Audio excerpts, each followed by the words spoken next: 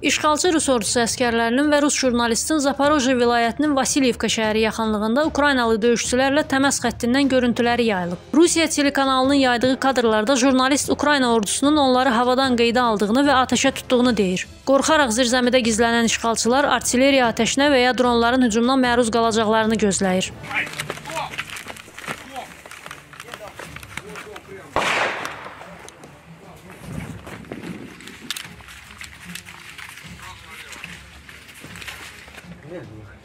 Давай, это, второй, третий, третий. Давай, пойдем, пойдем. Давай, давай, давай. давай, давай, давай. Выехал.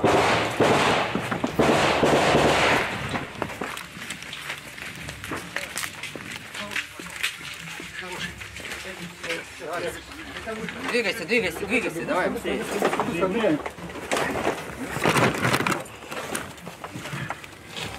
Сейчас мы находимся фактически на линии соприкосновения, наверное, максимально близко к вооруженным силам Украины, недалеко от населенного пункта Васильевка. С воздуха наш автомобиль видели прекрасно. Засекли и открыли огонь. Успели спуститься в подвал разрушенного дома. Вот переждаем, ждем, что здесь будет. Артиллерийский обстрел или работа с коптеров. Минут 20-30 придется подождать.